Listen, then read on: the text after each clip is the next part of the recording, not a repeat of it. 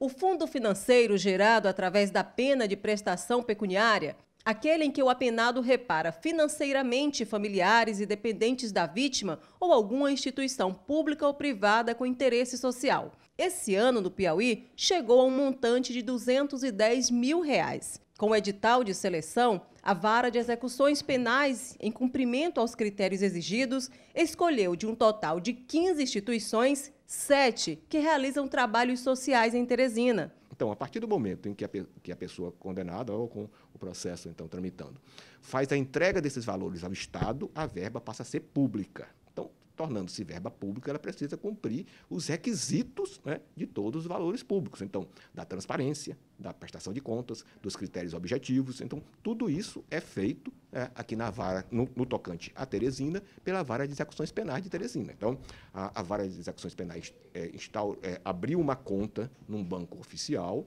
e esses valores são movimentados somente por meio de alvará. É uma conta vinculada à vara, que a movimentação é só para receber os valores da prestação, dessas medidas alternativas e destinar às entidades vitoriosas. Então, todo ano, a vara de execuções penais é, publica um edital estabelecendo o prazo para as entidades interessadas de Teresina apresentarem seus projetos, com um teto de até 30 mil reais, e estabelece também o procedimento de escolha das entidades, que é passa primeiro por uma comissão de servidores que faz análise da documentação para ver se as entidades estão regulares e o projeto foi apresentado na forma das regras estabelecidas.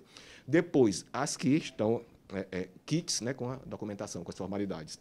Esses projetos são encaminhados para uma nova comissão, que é formada sempre por um dos dois promotores da vara, por um dos quatro defensores públicos que atuam na vara e por um dos servidores da vara. Essa comissão, então, segundo os critérios objetivos estabelecidos no edital, faz atribuição de notas aos projetos. Até 2015, o fundo da pena pela prestação pecuniária era destinado às instituições sociais de todo o Piauí.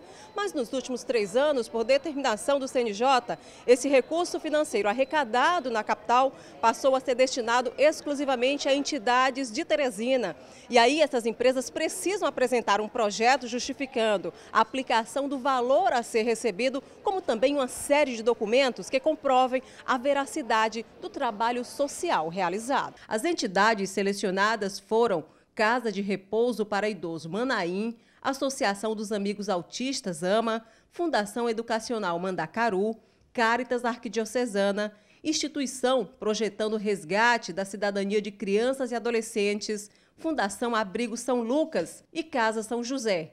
Cada instituição vai receber 30 mil reais. A gente fica muito feliz porque chegou esse dinheiro no momento certo, na hora exata. E a gente focou muito na questão da alimentação, fraldas, uns guarda-roupas que a gente estava precisando, né? E uma secadora de roupa. Então, chegou assim, a gente fica até tão lisonjeado e agradecido por ter esses projetos que contemplam né, essas instituições. A Associação dos Amigos Autistas, AMA, pela primeira vez participa do edital de seleção. Segundo a presidente, a maior dificuldade era a elaboração de projetos. Rosália sabe que a partir desse recurso, uma nova ação social será desenvolvida em Teresina. Tivemos esse projeto contemplado que vai ser muito positivo, porque é o projeto Inclusão sobre Rodas, né, que está sendo desenvolvido. É, e vai ser receber essa ajuda através da compra de um veículo, né, para que nós possamos ter um suporte melhor, mais seguro para é, acompanhar os alunos que estão inseridos na escola regular.